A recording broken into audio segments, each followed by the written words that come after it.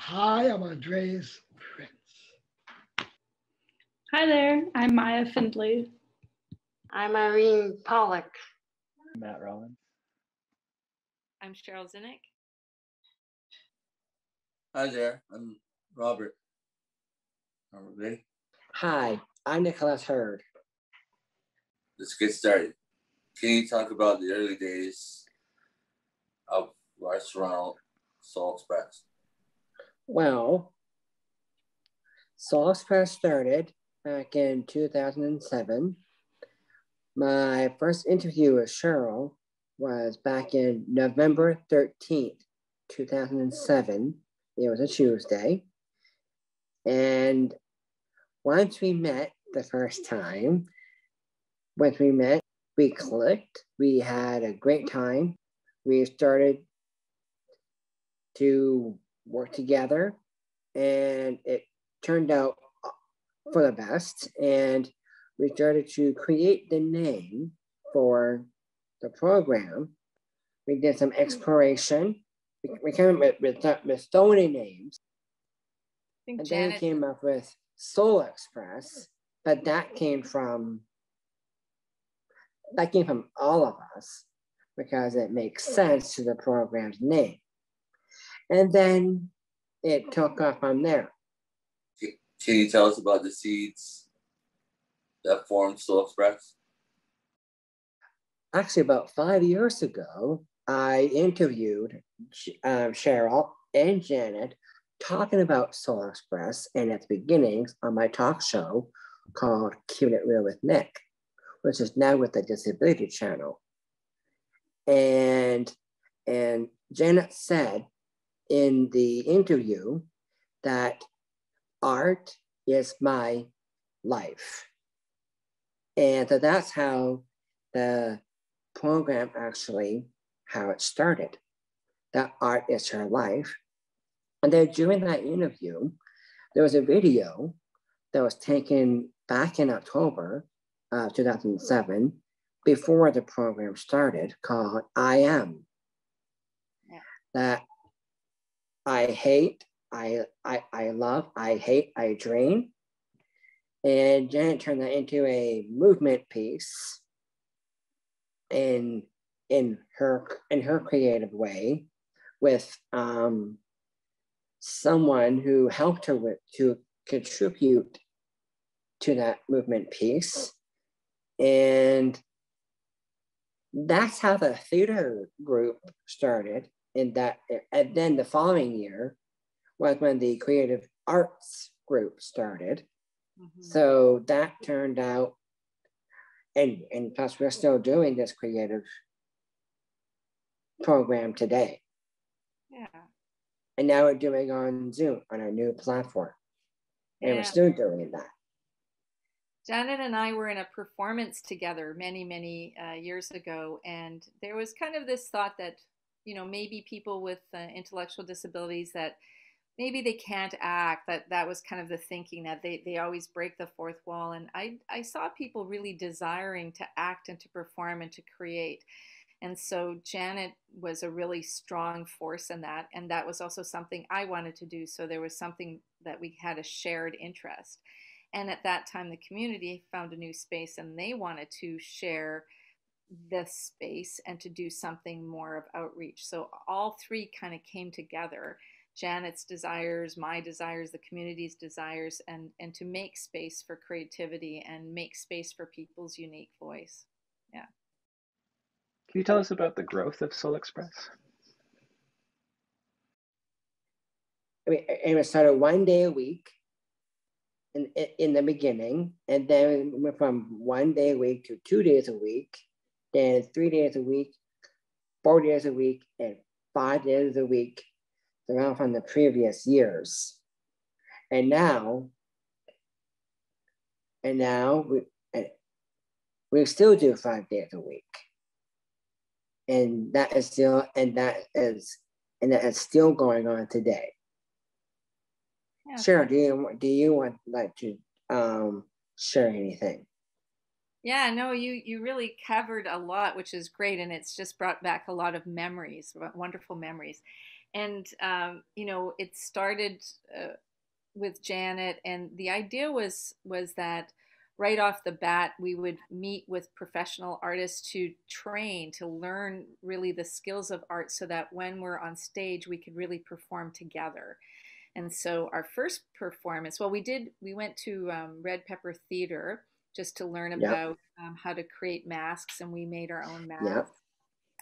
and then we our first performance was called uh, composition where each person spoke about themselves and their interests and who they were and um, that was we made sure it was at a real theater and that we invited people and that it was a shared performance so uh, right off the bat it started as as something that uh, valuing people who really see themselves as artists that they see that art is part of who they are and their life so it's an arts program that really um, uh, makes space for artists to grow and and also to learn. And so when we learn those skills, then we can express more. So, uh, and we did talk a lot about expressing ourselves. So yeah. some of um, so we often did research. Uh, we learned from other professionals.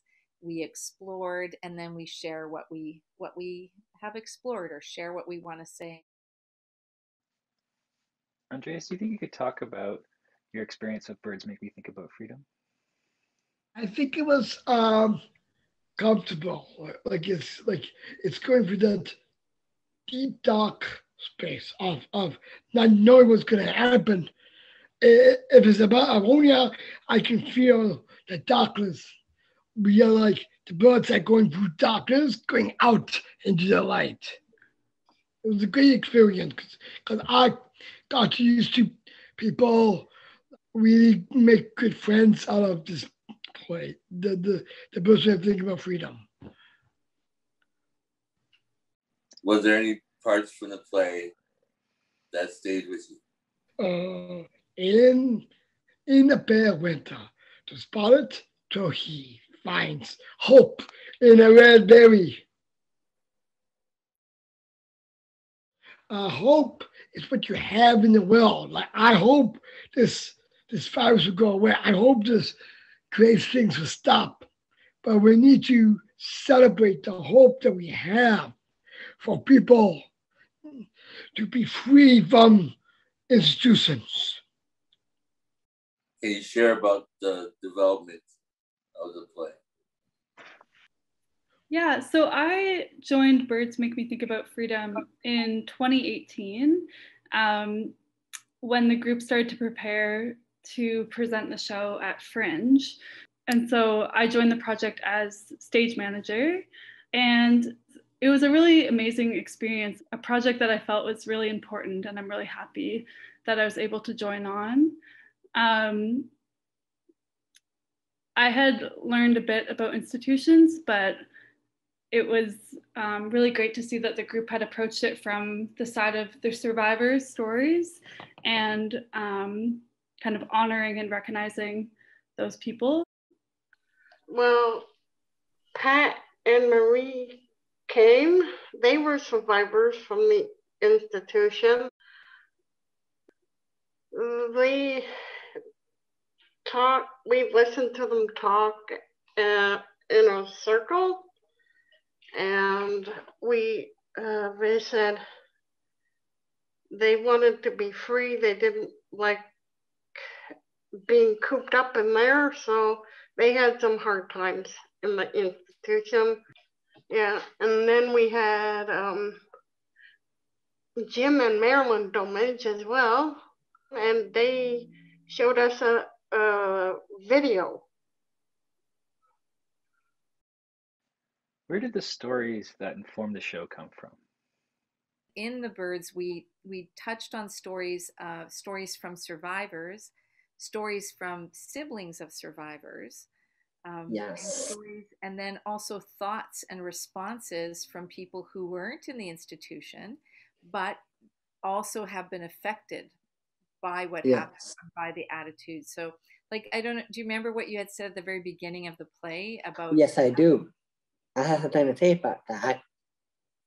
That I'm a compassion builder and I want to give myself to these stories and to learn from these stories, to think about what they and think about what they went through, gone through. I can't imagine me being there because mm-hmm. I could have been there too. Yeah. I wouldn't have any power at all, but we do. Right. And that's also a very powerful message yeah.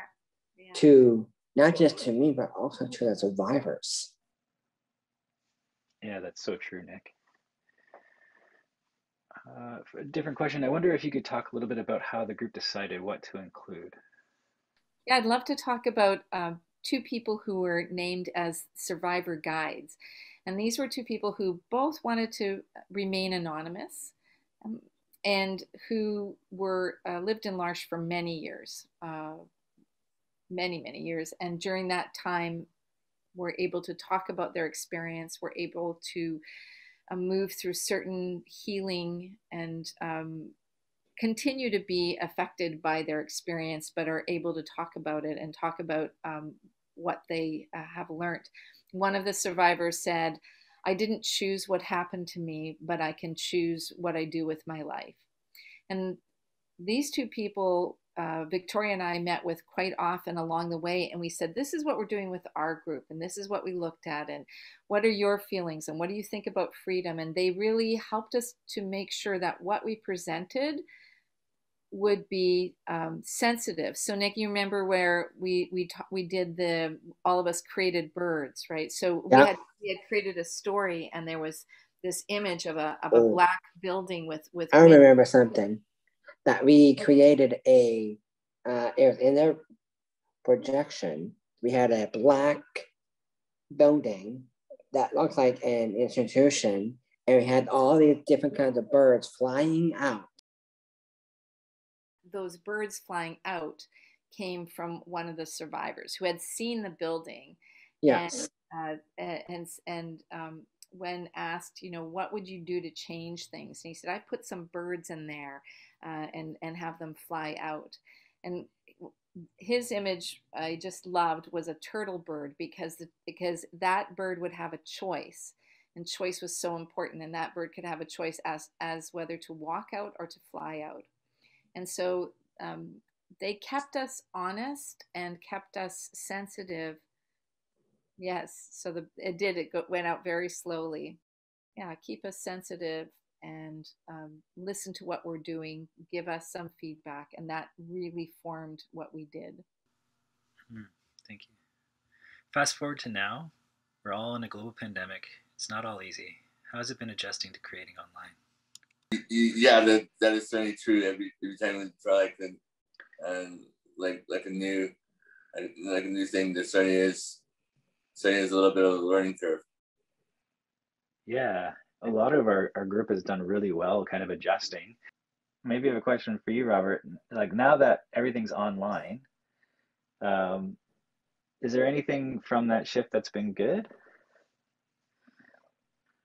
I mean, I, I mean, like, like, like having online, have, have people that come from the UK, people that are connected from, from, from like BC. Want to talk about any current projects that you guys are working on? Our play this year is going to be in between Lost and Found online during the pandemic. So we've been doing rehearsals uh, Monday and Tuesday from three to four on Zoom. We've been working on it for a while now, so it'll be in the summer in July.